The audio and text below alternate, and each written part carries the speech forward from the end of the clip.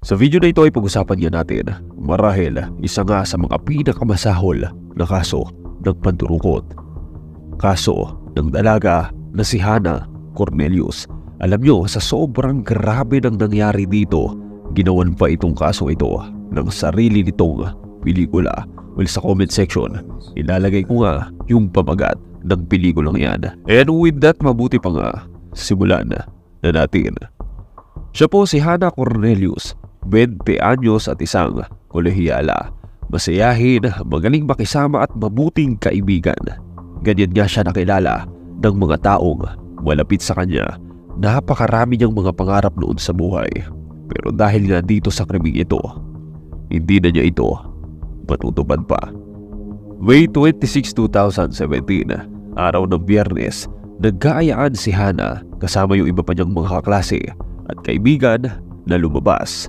Isa sa mga kasama niya nga noon itong si Jesslyn, schoolmate at matalik niyang kaibigan. Isang napakabuting kaibigan. Alam niyo naman, pag biyernes ay eh, talagang maraming nagsiselebrate. Kasi nga nairaos mo yung trabaho, kaya pag-aaral mo sa loob ng isang linggo, kaya talagang kailangan maging masaya ka kahit pa paano. Kailangan i-celebrate. May kasamang inom yung naging party nila that night pero controlled naman ito at hindi naman sila ganoong tinamaan. Natapos nga sila dito sa party pasado alauna na ng madaling araw. Dahil Malalim na nga rin yung gabi at walang kasamang uuwi itong si Hana ay eh nagpresenta ngayon itong si Jesslyn na ihatid nga siya. Bukod kasi sa talagang gabing gabi na sa mga sandaling iyon, kilala yung lugar nila na delikado talaga pagpatak ng dilim lalo na nga sa mga kababaihan. May mga naunang kaso na nga kasi doon tungkol nga sa pangharas sa mga babae at dahil nga dyan, e pumayag rin naman itong si Hana na ihatid na nga siya nitong si Jesslyn hindi rin naman kasi kalayuan yung tinutuluyan niya kaya naglakad na lang silang dalawa pauwi. Well, well, well, huminga muna kayo ng malalim dahil wala pang mangyayari dito. Ligtas naman na naihatid ni Jesslyn itong si Hana sa apartment niya. Pero, pero, ito na. Itong si Hana naman ngayon ang nagbipilit na ihatid niya pabalik itong si Jesslyn sa apartment nito Parang dahil hinatid mo ko eh ihatid rin kita kasi cargo kita. Ganun yung nangyari. May kotse naman noon si Hana at nakapark nga doon sa gilid ng apartment niya. Regalo sa kanya ng lola niya kaya nga hindi siya mahihirapang maghatid. Sabi niya dito sa lalaki. Baka raw kasi mapano nga itong si Chislin kasi nga around 3am na sa mga sandaling iyon. Isa pa, hindi rin man ganoon kalayo yung apartment nitong binata. Ilang minuto lang din kung tatakbuhin nga ng kotse. At kahit pa nga tumanggi talaga itong si Chislin, wag na wag na sabi niya. Nung una ilang ulit niyang sinabi na kaya ko to, kaya ko to. Pero mapilit talaga itong si Hana kasi nga naman iniisip niya, di ba? Kahit ikaw, eh, maawa ka dito sa tao. Nagpakita ng concern sa'yo, hinatid ka tapos hahayaan mong maglakad. Mag-isa pa uwi, eh may kotse ka naman. Tapos madaling araw pa at delikado yung lugar niyo. Well, to cut the story short, Eventually pumayag na rin itong si Binata kasi nga nakakotse naman itong si Hana so tingin niya safe naman niya. And then by around 3.30am nakuna na nga yung video nitong kotse ni Hana na pumarada na nga doon sa tabi ng apartment ni Jesslyn. Tumagal pa sila sa loob nga ng kotse mga ilang minuto. Nagkwentuhan umano sila tungkol nga doon sa mga nangyari. Well, huwag niyo nang bigyan ng mali siya kasi ayon sa salaysay eh talagang magkaibigan itong dalawa. Ngayon, ito yung pansin ninyo dito. Tingnan yung maigi yung kuha ng kamera. Nahagip nga sa unang pagkakataon na may apat na lalaking dumaan doon sa kanilang kotse. Alam nyo sa asta nila, eh parang wala naman talagang kakaiba. Parang napadaan lang talaga sila. Parang mga nagpapababa ng tama. Kasi nga, sa mga oras na yun, karamihan ng gumagala ay talagang nagpapatanggal ng amats. Pero dito, hindi lang sila isang beses ngang dumaan. Maya-maya pa, nahagip na naman sila na dumaan doon sa lugar. At sa mga sandaling ito, busy yung dalawa sa loob ng kotse na nag-uusap. Isa pa, kampante naman sila kasi nga nasa loob sila ng sasakyan tapos sarado naman yung pinto. Pero sa kasamang palad niya, hindi pala sila safe sa loob ng kotse. And the moment na narealize nila na may balak na masama itong mga lalaking to. Talagang huli na yung lahat. Sa sobrang bilis nga ng nangyari, isang hatak lang nung isa sa kanila. Bukas agad yung pinto ng kotse kasi nga sanay itong mga taong to. At pagbukas ngayon itong pinto ay mabilis na pumasok itong apat na lalaki at agad silang tinutukan ng mga patalim. At talaga namang nakakatakot yung mga susunod na mangyayari. Takot na takot nga talaga itong magkaibigan dito sa biglang nangyari sa kanila. As in, wala silang nagawa kasi they were caught by surprise. Sumunod na lang ngayon sila sa mga pinapagawa sa kanila. Si Hana pinaupo siya sa pagitan ng front seats. Pinagitnaan siya ng driver at isa pang lalaki sa bandang kanan. Si Chesley naman ginapos tapos pinadapa sa likod na upuan at inupuan nung isang lalaki. Yung isa naman doon sa apat na lalaki, makikitang umalis at hindi nga sumama doon sa grupo. Sa kuhang ito ng CCTV bandang alas 3.40 ng umaga, nakuna na rin yung pag-alis ng kotse ni Hana na nooy binamaneho na nga nung isa sa mga tumukot sa kanila. Grabe no kung iisipin mo, kanina lang itong dalawang to sobrang saya nila.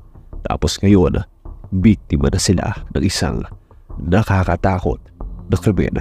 Talagang nakakatakot itong mundong ito. Isang oras matapos silang tukutin, muling nakuna ng CCTV itong coaching ito. Pasado alas 4.30 na ito ng madaling araw. Pumarada ito sa isang gasoline station.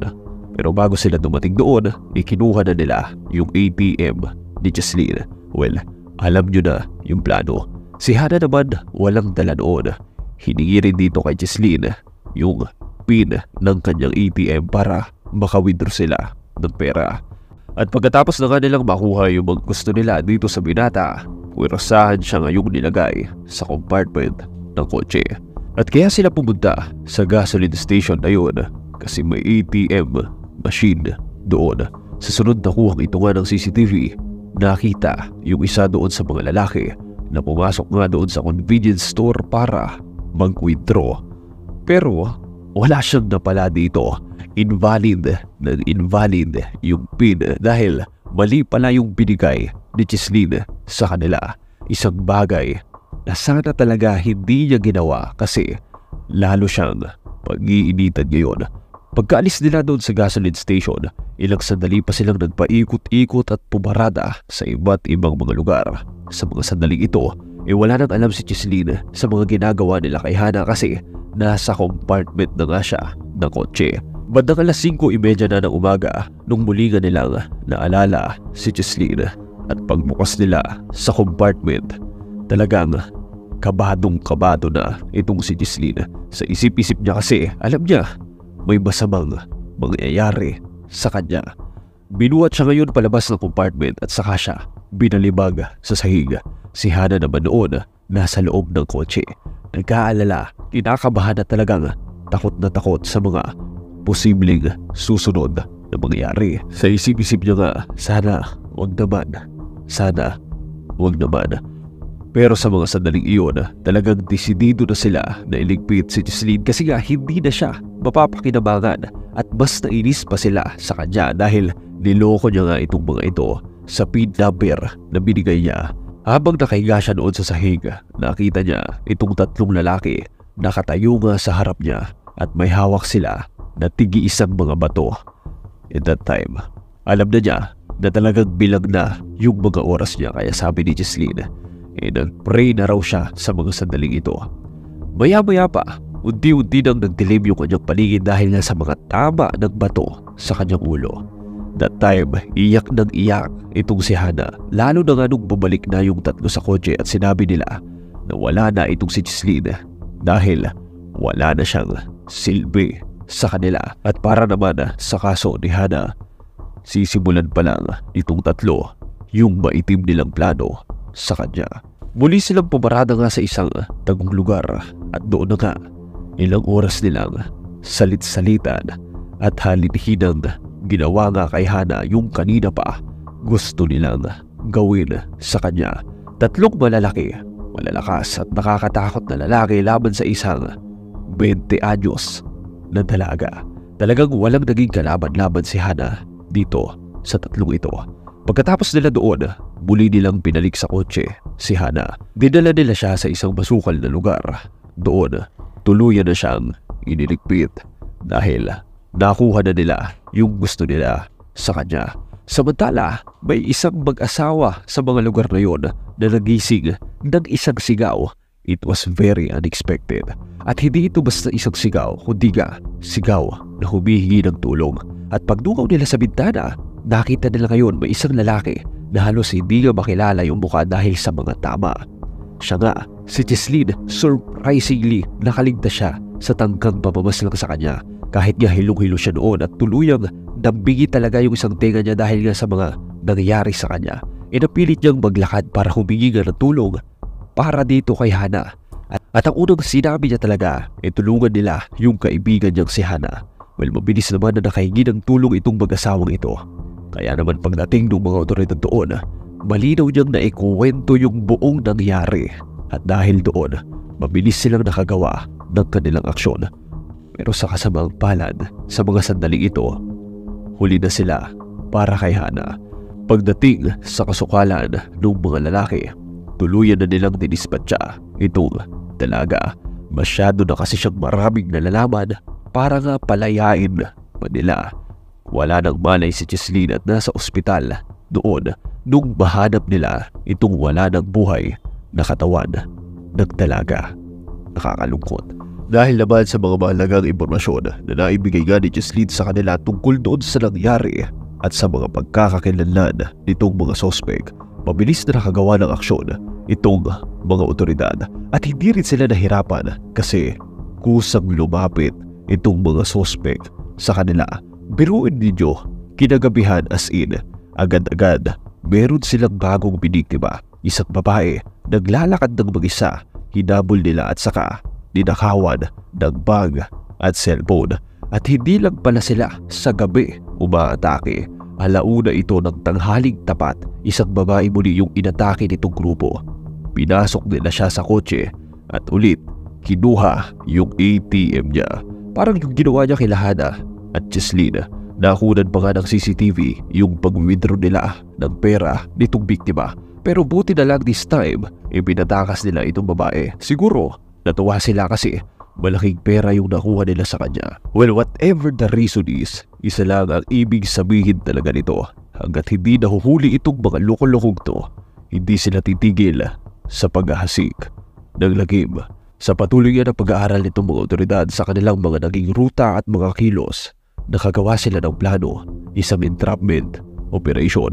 Sa kuhang ito nga ng CCTV, makikita yung naging habulan nitong mga otoridad dito sa mga kriminal. Tinangka pa talaga nilang tumakas at manlaman noon pero huli na para sa kanila. Mabuti na lang nasukol sila agad nitong mga otoridad. Sa wakas, sa wakas, grabe di ba? Napakahusay nung mga pulis dito. Itong mga salarin ay miyembro pala ng isang gang. Nakilala sila na sina Nashville Julius, 29 anyos, Geraldo Parsons, 27 anyos, Eben Van Yerek, 28 anyos at Vernon Whitboy. Grabe, grabe talaga yung ginawa nitong mga to para kay Hana at Jesslyn. Matapos nga yung ginawang paglilitis dahil na rin sa maraming mga ebidensya at talagang nakilala sila e sinintensyahan silang guilty para sa kasong panturukot, pagnanakaw, pamabaslang at tangkang pamabaslang pa kay Jesslyn. Tatlo sa kanila yung sinintensyahan ng habang buhay na na pagkakakulong pero yung isa sa kanila si Julius yung parusa e eh 22 taon lang sa kulungan kasi nga siya yung hindi sumama doon sa kotse nung dinukot na sila Hana. Siya yung naiwan na doon if you remember. Pero tinaas pa rin yung parusa sa kanya dahil nga sa pagiging kasabwat niya dito sa nangyaring krimen na ito. Doon din, inamin itong mga salarin na bato na tumitimbang umano ng halos isang kaban. Grabe, halos isang kaban yung ginamit nila para tuluyang iligpit itong si Hana. Pero alam niyo, mabuti na lang talaga dito sa kasong to, mabilis yung naging hustisya. Well, para sa inyo, sa tingin niyo, sapat ba yung naging parusa para sa kanila? Well, gusto ko pong marinig yung inyong mga opinion. para sa kasong ito. And well with that, muli po, salamat na marami sa patuloy at walang sawa ninyong pagsuporta. Sana eh, ma-like at ma-follow nyo rin yung aming Facebook page na ilalagay namin sa description ng video. Once again, thank you so much for watching and see you again next time. Goodbye and always be safe.